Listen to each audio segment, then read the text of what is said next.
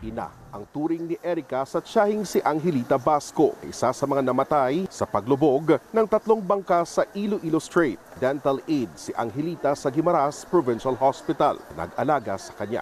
Para sa amin siya ang pinaka-the best kasi kaming tatlo, tapos siya may isa siyang anak.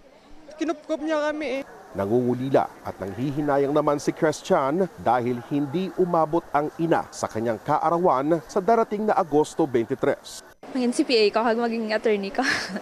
Walo sa siyam na taga Gimaras na namatay ang nasa provincial gym para sa public viewing. Itinigil na ang search and retrieval operation. Tatungkot isa ang naitalang namatay, 65 naman na pasahero ang nakaligtas. Ayon sa provincial government, inaasikaso na ang tulong para sa mga pamilya. For every casualty, may 15 sila.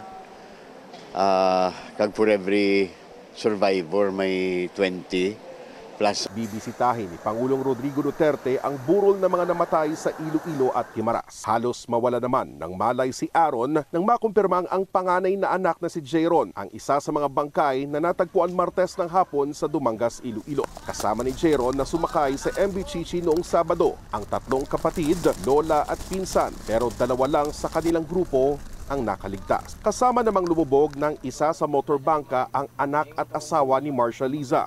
Sinamahan nila ang kaanak na si Romeo para mamanhikan nakatakdang iburol ang mga labi sa Cebu City. Inaayos pa ang mga papeles sa pagdala sa mga bangkay, pati ang mga labi ng tatlong UAE teachers na kasama sa tumaob na bangkang Jenny Vince. Reggie Adosto, ABS-CBN News.